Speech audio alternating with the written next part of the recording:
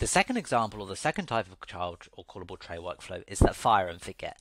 And as the name suggests, I'm just going to call my child tray workflow and I'm not going to worry about what the response is in terms of what I'm getting back. And so the operation that you'll select here is fire and forget. You'll select the workflow that you need, as well as any information that you want to effectively pass through.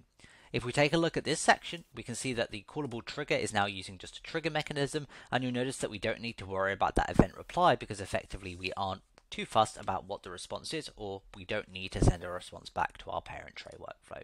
So in this case, it's just sending a simple Slack message, so I'm not fussed in my parent tray workflow whether this will be or what the response will be. So I'm just going to use this fire and forget. If we take a quick look at the log, we'll see that we get the callable information coming through. We use that within a boolean condition, so we're referencing the data from our trigger, and then we're using that to decide on how we want to perform this operation. If we take a look at the logs in this first section, you notice that it executes in a much smaller amount of time because all we are doing is sending the request to the child tray workflow.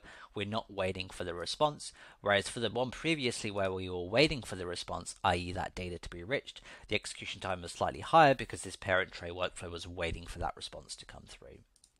We then hit the send email one, and as the final step, just to say that we have completed this successfully, effectively.